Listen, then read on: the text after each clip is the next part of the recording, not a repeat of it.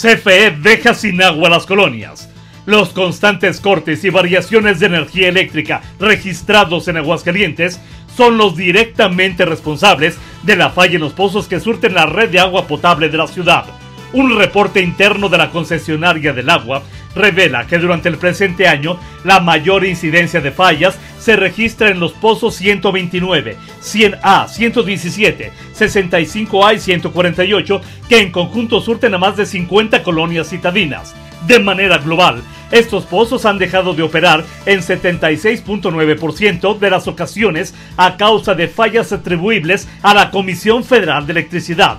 De esta incidencia, 40.9% obedece a variaciones de corriente o voltaje, 30.5% a falta de energía y 5.5% al daño en equipo de bombeo propiciado por estas causas. Curiosamente, en el pozo 148 ubicado en Villa Natura, que surte las colonias con mayor población, como son Villas de Nuestra Señora de la Asunción, Villa Teresa, Villas de Notre Dame y los fraccionamientos Palmira y Santa Regina, entre otros, la falta de agua es atribuible en 84.2% a variaciones en energía eléctrica y 15.8% a fugas en la tubería central.